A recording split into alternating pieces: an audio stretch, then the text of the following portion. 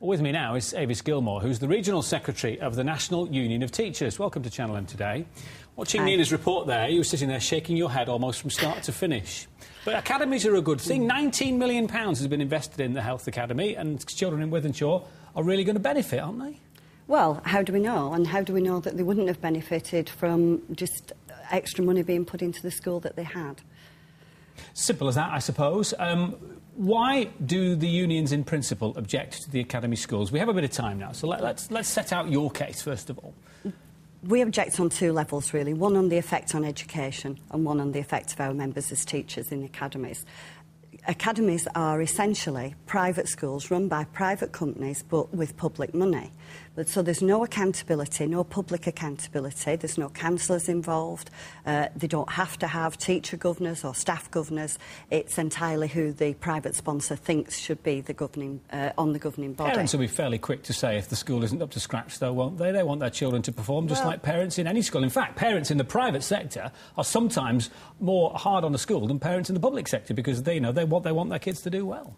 But parents will complain about the school if there's a problem, no matter which sector it's in. Um, Which will keep the school on its toes, though, so the accountability Absolutely. of the parents is there, whether it's an academy or an ordinary state school. but then you've got to look at how the academy is actually choosing its pupils. Uh, academies can set their own admission criteria, and it is absolutely a fact that the majority of academies have less uh, special needs pupils, statemented pupils, and they have a higher level of exclusions than the state schools. So they've, it's not the parents choosing the schools in terms of an academy, it's the academy choosing the pupils. And, and we have an objection to that as well.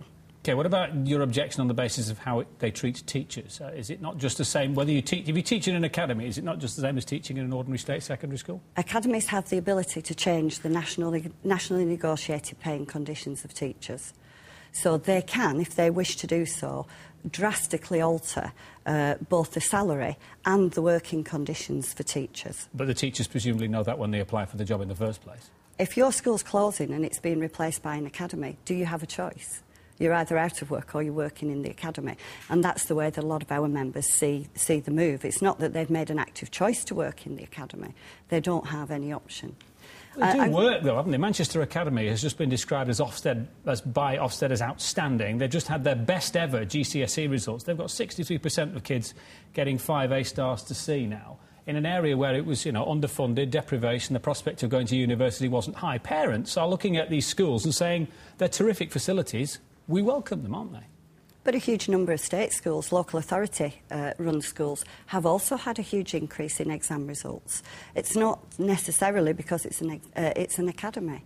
And if you compare academies with similar schools in the state sector, there is no huge difference between the two. You, it, it is not possible to say, uh, and there have been at least three reports done on this in the last 12 months, but it's not possible, they can't say that yes, academies have improved at a faster rate than similar state schools. So the, the, evidence is not there. We are in um, a time of economic crisis.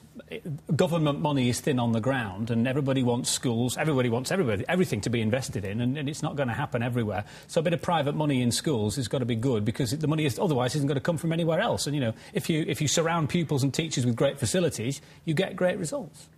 Well, you've just shown a clip about the, one of the new academies in Manchester, uh, the, where the prime sponsor is actually the health service. So we've got the government putting money into a struggling health service, which then transfers that money to education. So that argument doesn't really hold up either, I don't think. A health service notwithstanding, other businesses and other charities putting money into schools is money that otherwise wouldn't be there. That is the case, but there's also uh, there's also a lot of evidence, and what what may be interesting for people to do is look at the accounts of some of the academies, because certainly some of the faith academies and uh, fundamental Christian academies have actually paid out more money to charities that they're related to than they have put into the school.